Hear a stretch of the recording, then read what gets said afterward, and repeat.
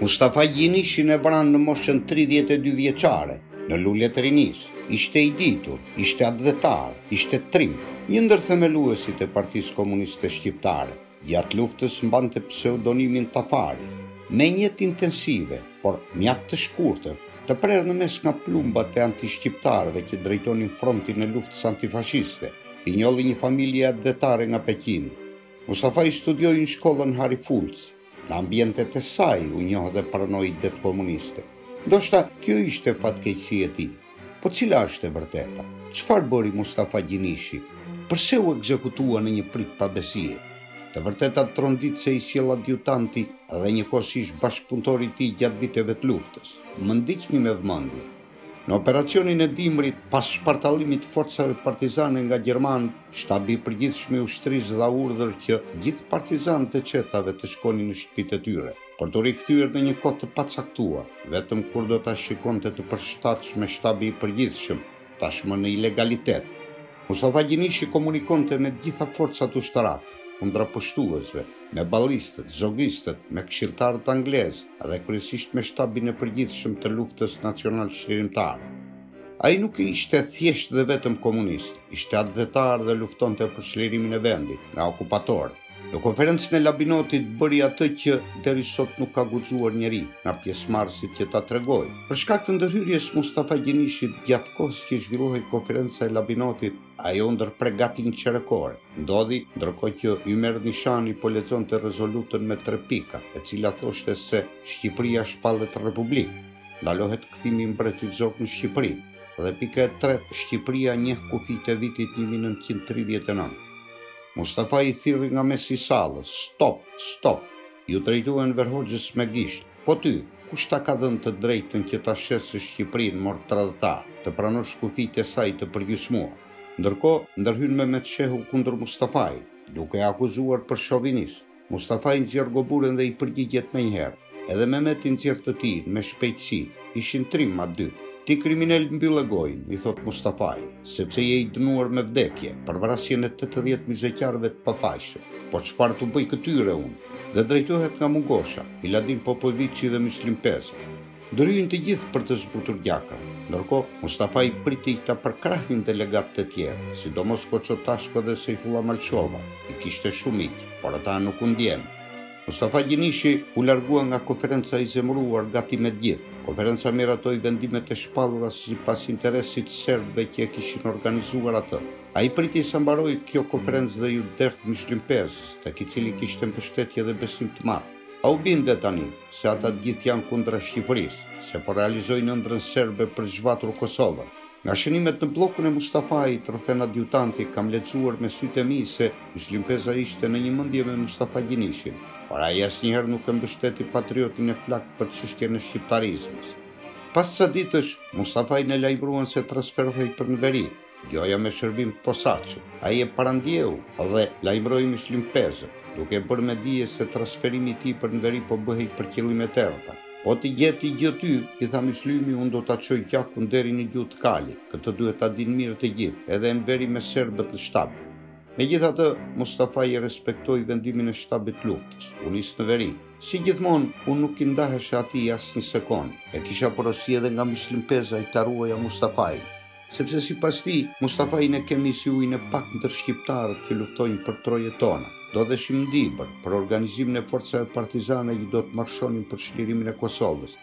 Papritur, Mustafan e thërrasin për të marrë pjesë në mbledhjen e komitetit, me kuadrot e lartë të çetave dhe brigadave, Ishte njëzet shtator i vitit një mijë e nëntëqind e dyzet e katër, sapo mbritëm në Maqellarë. Mes kuadrove të grumbulluar ndodhej edhe Hysni Kapo, i cili e ftoi dashamirësisht Mustafan të jepte mendimin e tij lidhur me diskutimin që po bëhej rreth personalitetit të Titos dhe fitores së popujve sllavë kundër nazifashistëve. Mustafai, i cili i kishte dëgjuar një copë herë diskutimet, flak i kuq në fytyrë iu drejtua. Po si nuk ju vjen keq për popullin shqiptar?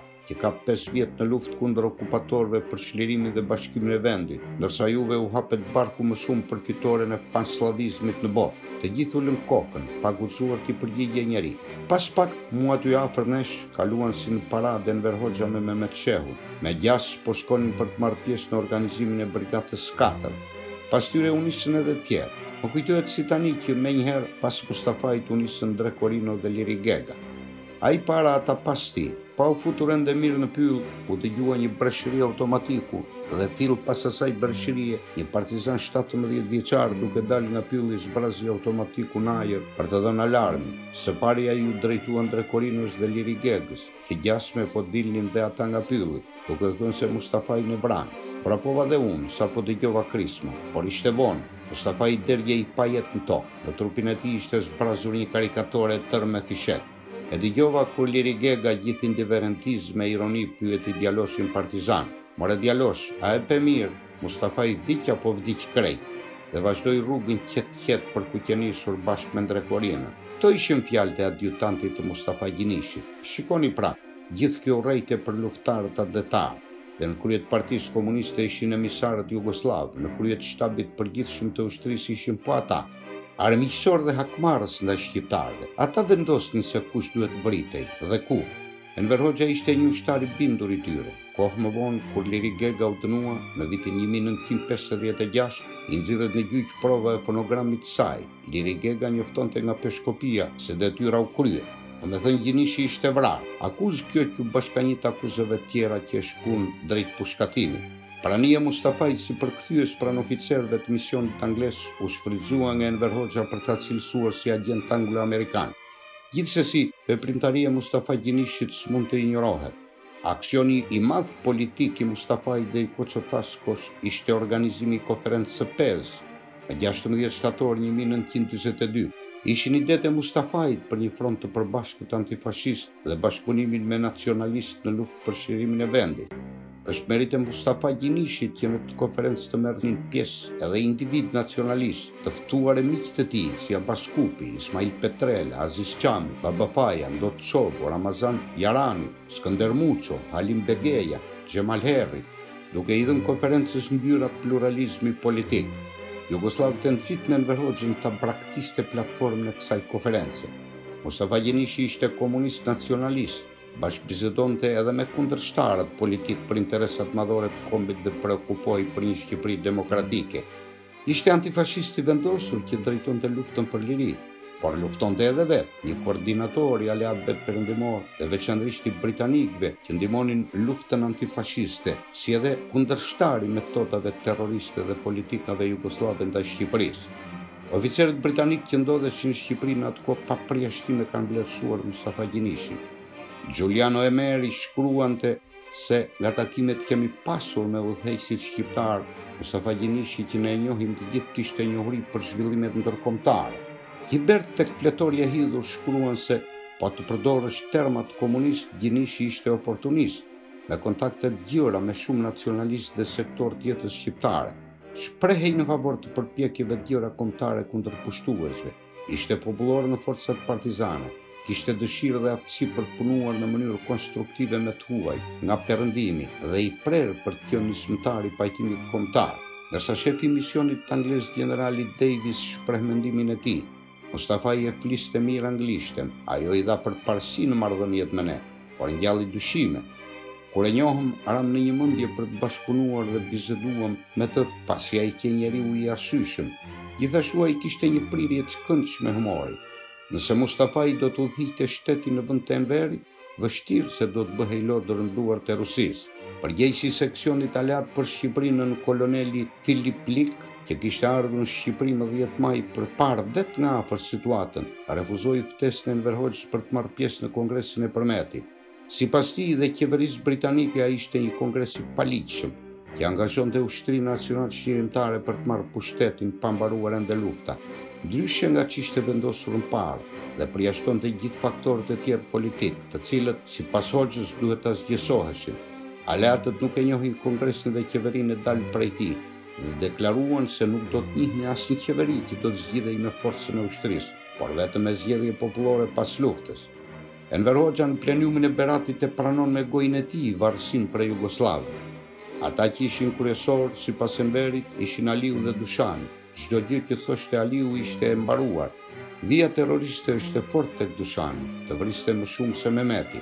Te Aliu ndryshonte. Unë një pikë isha pasqyrë e Aliut. Domethënë kur thoshte ai se ky bën kështu apo ashtu atëherë vendosnin ta vrisnin. Asgjë s'e peshonin. Sa për Mustafa Gjinishin ajo ka qenë ndryshe, ne mendojmë se ajo duhej bërë, domethënë duhej vrarë. Gogo Nushi ka përcjellë përjetimin e Myslim Pezës. Parmbrëmë mësuam nga Radio Bari për vrasjen e Mustafa Gjinishit. Ia njoftuan Myslim Pezës, i cili u hidhurua shumë dhe nuk tha asnjë fjalë. Pas disa orësh filloi të pijë raki përpara më shumë se 50-60 vetë që filloi të flasë. Mustafain e kanë vrarë shokët, se ky qe më i zoti se ata. E kërkova të vinte në Pezë si Mustafan edhe Hasanin, Hasan Reçin, por nuk më lanë Ramadan Çitaku, të cilit i dhjefsha mustaqet. Mustafai para se të largohej nga Përmeti më tha se më dërgojnë në Dibër dhe atje do më zhdukin. Më kishte thënë edhe Enveri për Mustafain që duhej pushkatuar.